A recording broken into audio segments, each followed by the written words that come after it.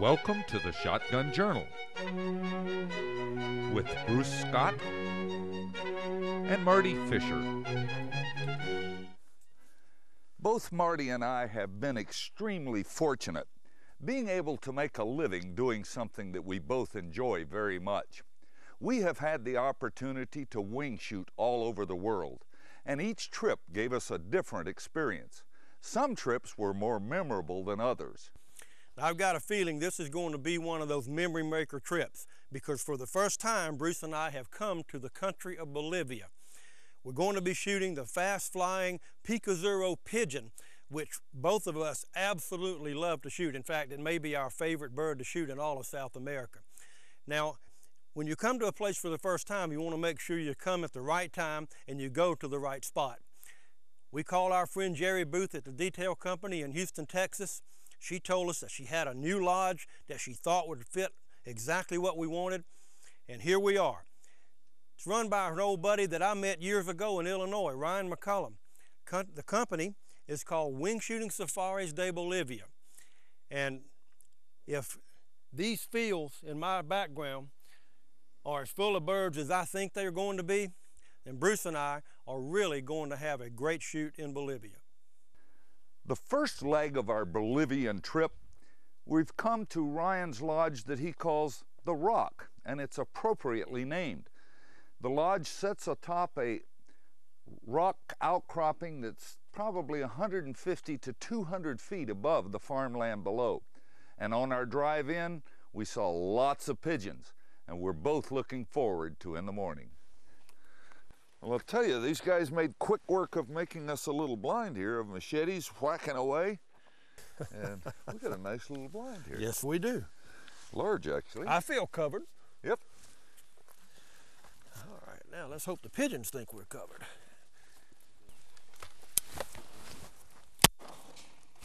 There you go. What we need to do is get some bird shot and put them on the ground out there where their eye will look at that and think it's birds feeding, and it will take their focus off of us. Coming in behind us, Marty. Your bird. Okay. Oh, geez, look at him decoy. And did you see me shoot right over the top of his back the first time? uh, he paid for it the second shot, though. Well, I've heard of guys doing that. Of course, I've never done it myself. The day is young, my friend. okay.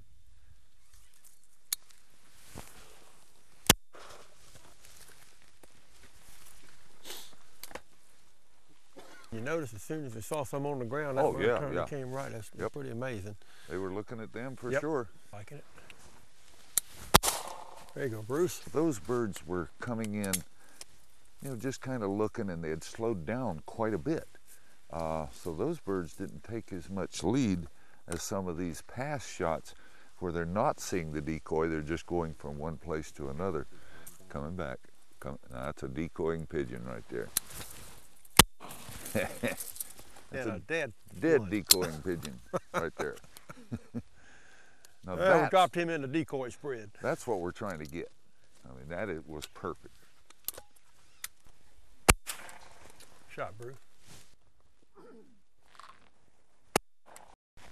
Marty, I've actually shortened my lead. Once these birds see the decoys, they slow that wing beat down just a little bit, and the lead has been pulled back. When we were first here, when birds were just going from this uh, roost or whatever it is over to that one, like this bird's going to take more lead. Yes, he did. Good shot. Yeah, I opened that up. I went to the lead I wanted. There's another one.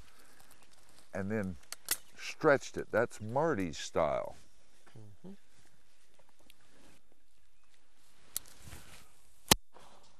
There you go, Marty. Nice driven. Yep. Right here. and decoy. A driven and a decoy. And boy, you talk about a change. There you go. There. My long barrel. Well done, Marty.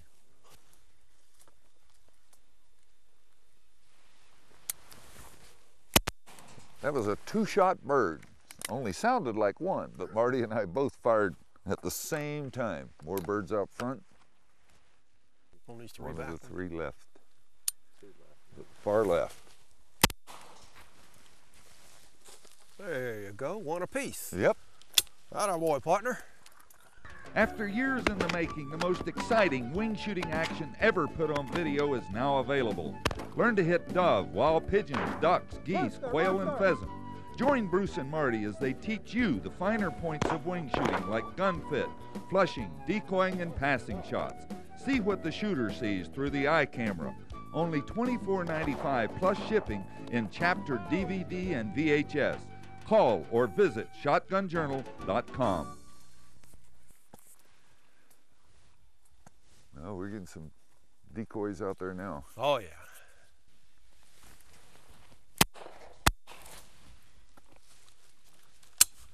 He was already dead. That was a double snake. Already had him dead. I had nothing else to shoot at. Decoying. Ooh.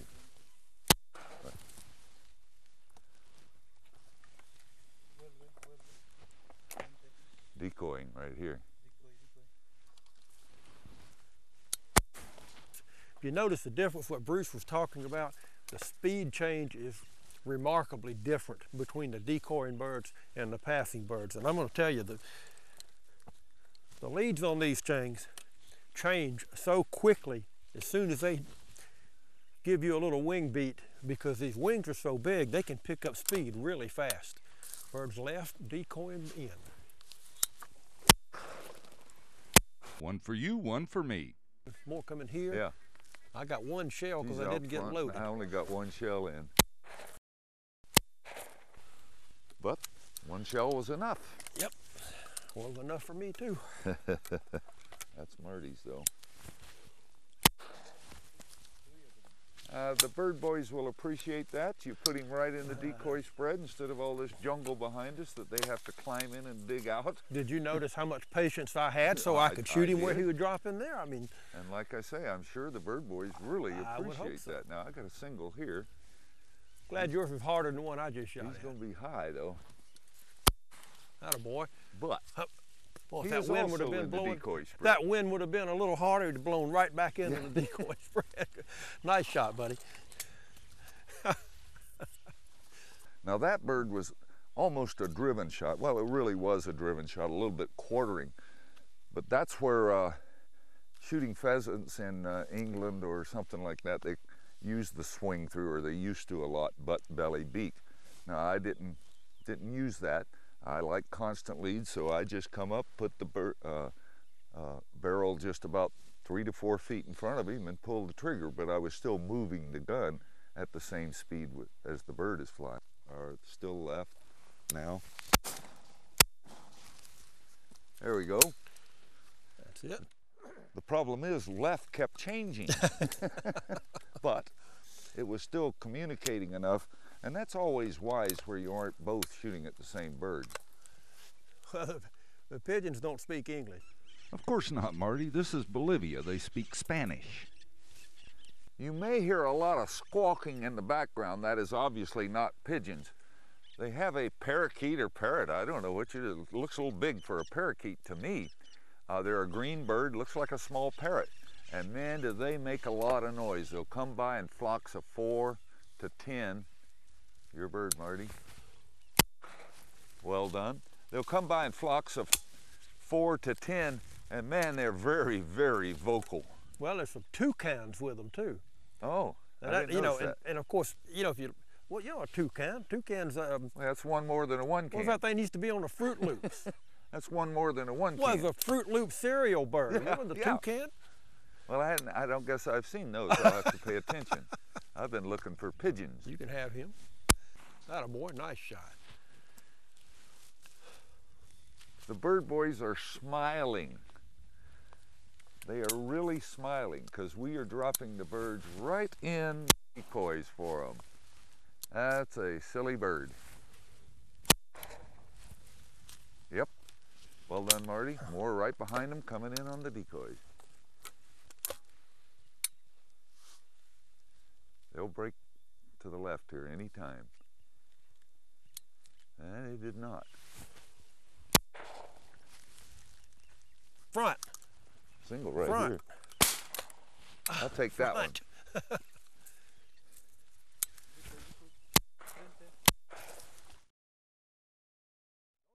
Geez, it's raining feathers.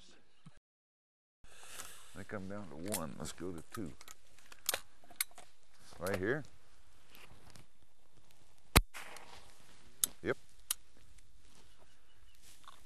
Right, right, right. right. Decoying birds. That was a poof. Look at the feathers. that full chokehold one at 10 yards makes a mess. Yeah, it does. We got birds working the decoys up front all over the place. Gee. You dropped one left, I dropped one right. And dropped another and right. another one out here, right here. I got one shell left, Bruce. Me too. That's pretty But far. gonna Take Oh, him. There you go. He's long. Yes, Yep. he is. You know, many times Marty and I are asked what shotguns we're shooting. So I'll take a few moments to tell you our equipment. I am shooting a Caesar Guerini Summit model. This is one of my favorite wing shooting guns. It comes in a two barrel set. This is the 20 gauge barrels that I'm shooting on the pigeons today. We also have a set of 28 gauge barrels for this gun. So I use that on smaller birds like dove, quail.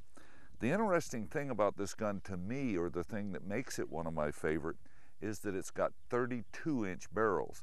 I'm not a real fan of a short gun. I shoot a lot of sporting clays, therefore I like that longer sight picture that I'm used to when I shoot sporting clays and FITASC. Uh, the gun swings well, it's extremely well balanced. Now, the chokes. People also ask what chokes we're shooting. Today, I'm shooting Comp-N-Chokes. The top barrel, which is my second barrel normally, is a full choke. My first barrel is a light full. Now the Comp-N-Chokes with these slots in here, I don't know exactly how it works, but it gives me a very even pattern. And when you're shooting tight chokes, you want that even pattern so you can use every bit of the pattern that you have and still deliver a good killing concentration of lead into the bird. Let me stand up here where I can get one of these. That's yours. Well done. Right here, a high. Nope. Oh, no. There you go. Nice shot, Bruce. Well, Marty, it appears that the morning flight is dwindling. Well, we we dwindled it, okay. We've got a sea of gray out here We do. of, uh, of pigeon. Boy, I mean, what a what a great What a- shoot. I mean, there were times there that I could not load fast enough. Well, no, and and you know, you, you had said, I wish I had my loader from Yeah, Spain. Well, right, yeah, right. you know, so did I. But uh, you know, I mean, this is this is just the, the first of a lot of hunts that we're going to do. We're Right. we're actually going to leave this particular lodge and go to another one of the five or six lodges that uh, that that Ryan has, and see if we can find some more birds. Well, let me assure you of one thing. Every bird that we shot that they can find, at least the ones out here, I'm sure there will be a few back in here, will not go to waste. Once these birds are all picked up, they're actually going to be dropped off at either one of the Mennonite colonies or with some of the native Bolivian villages because it's a great source of protein and all of these birds will be consumed.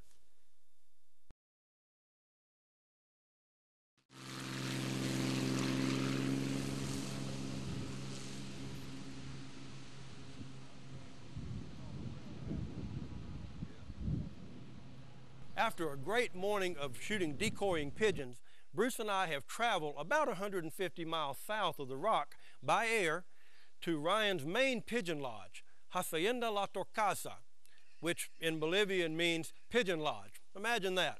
Now we're going to be hunting in the famous Chaco region of Bolivia. which in native tongue translates to hunting grounds, so it looks like we're in the right spot. Traveling to hunt is much more than just shooting birds.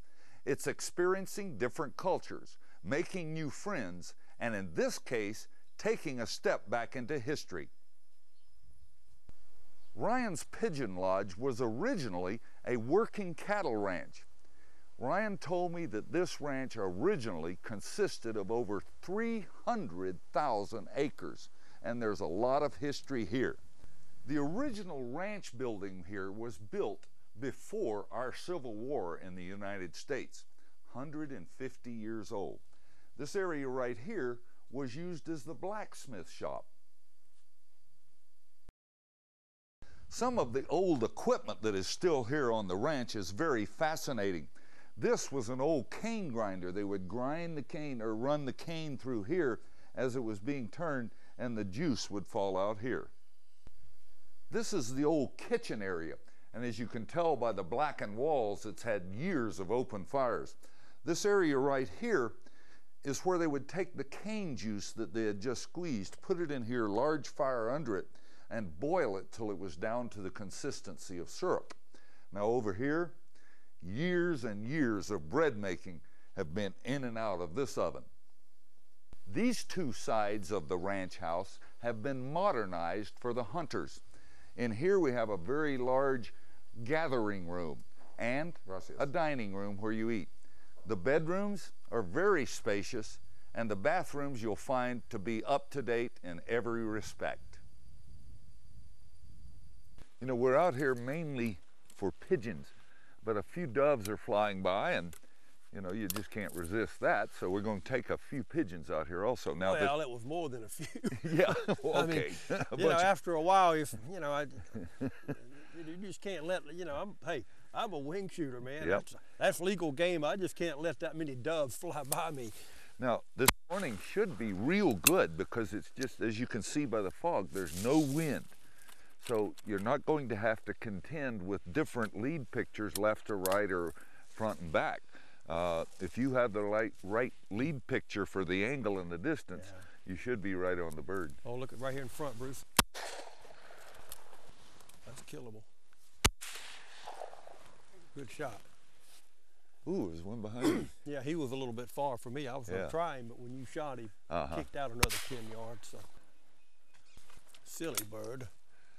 I should. He should know better. Yeah, it comes straight in on you. You can't come into Bruce right there. yeah, my sweet spot. there may be a lot of places you can fly, but not there.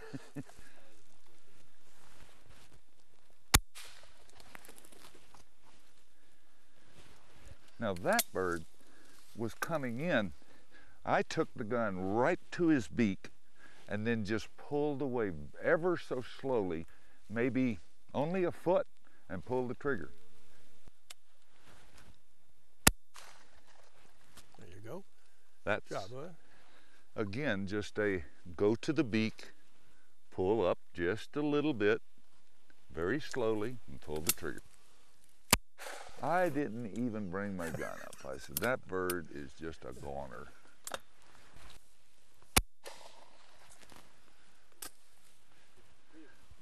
A little more, I reckon. There you go.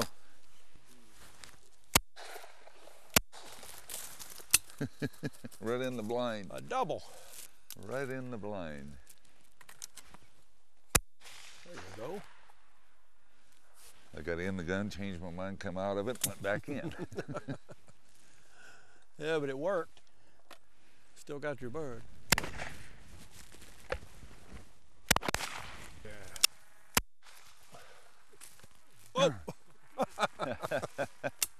well, the doves are just giving us good practice for the pigeons. That's right. The, uh, the, well, not a problem, but something you have to take in consideration if you start getting a feel and a mental picture of what you're shooting on these doves, and along comes a pigeon, which is about two and a half to three times larger, you have to uh, compensate because they appear to be much closer than they are uh, and will normally require a little more lead. So it's something you just have to adjust to. Well, and you think they're slower too, and they're not slower. No, they're not. I mean, one pigeon wing beat gets him moving pretty good.